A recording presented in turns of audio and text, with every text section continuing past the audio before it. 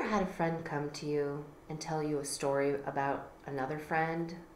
They they rush up to you and, or call you and be like, "Oh my gosh, I have to tell you what so and so did. I can't believe that they did this. I'm so annoyed at them." And you hear and you're like, "Oh my gosh, poor friend A. I can't believe what friend B did to you. No wonder you're so upset with them." And then you're enraged on their behalf. Well, then friend B calls you saying their side of the story of what friend A did, and you go, you're thinking to friend B, "Oh my gosh, I can't believe friend A did that to you. You were wronged. No wonder you're so upset." And now you're like, "Well, which one was right?" Well, based on perspective, they were both right. Perspective is how you view or interpret an, an event, an accounting.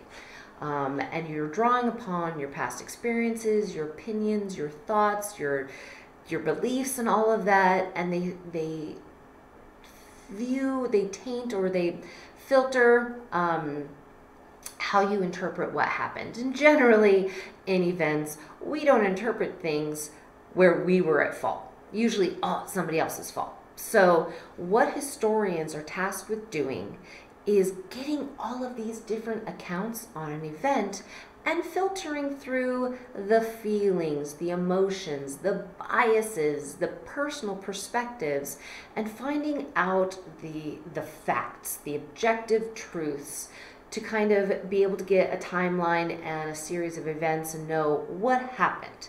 Then realizing there's always feelings to it. Um, but those don't necessarily help us have a historical account. So the historian kind of filters out those feelings.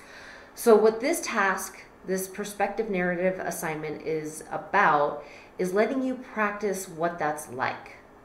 You have your version of a story, but how were you interpreted by others? By doing this, it, it can make you a more open minded person, it can let you understand how your actions might affect others and being more sensitive to others' actions affecting you and maybe realizing oh, maybe my feelings are hurt or or that was amazing but maybe maybe they didn't mean to do that and I shouldn't interpret it so judgmentally. And that's that's obviously going on around a lot right now if you you know watch the news where everybody's judging each other. So uh, it's it's good to just have this awareness of there's there's more than one interpretation or perspective uh, or viewpoint of an event. So what i want you to do is think of an event in your life. It doesn't have to be anything big or major but it needs to involve you and somebody else. I want you to give your I want you to tell the story about how you experienced this event. Then get out of your shoes and get in the other person's shoes and say the story from their side. So when you're that other person, you use the I. Oh, I can't believe so and so did this, or oh, I was really hoping that they would do this and they didn't. So you are that other person. You are giving your firsthand account. So you kind of have to use your imagination to how they might have felt about that situation. So, an example would be me trying to help my daughter learn how to ride a bike. All right. Oh, I just had three Zoom meetings today and a bunch of grading. I am exhausted. Tap, tap, tap.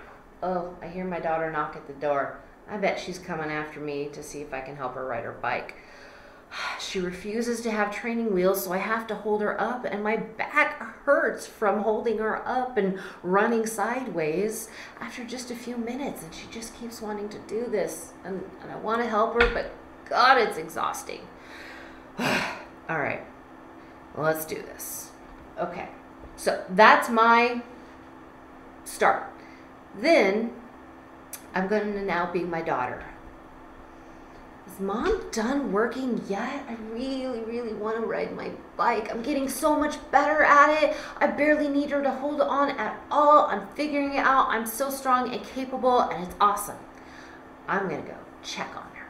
Do, do, do. I knock on the door. Mommy. She says I can come in. Mom, can can you help me ride my bike? You're so good at it. I'm crossing my fingers. I hope she helps. I hope she helps. She says she will. Yes, my mom's the best. I'm gonna be the best bike rider forever. She loves helping me out, and she tells me what a good job I do. Yay! Gonna ride my bike. All right. That's perspective two. So I, as the adult, being all too wrapped up in responsibility, just think, oh, this is exhausting. I don't want to do it. Whereas the kid, all she thinks of is the excitement and the, the learning and the getting to do something with her mom, and she's all happy about that. Same event. Kid comes to ask to be able to ride her bike.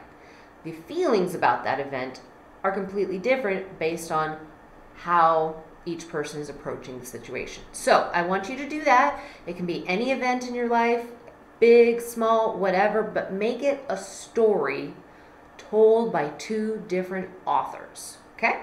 Um, it only needs to be at least a substantial paragraph. Don't give me just, oh, I did this and I did this and I didn't like that. That's not much detail. Let me know what the story is, the event, and then see it from the other side.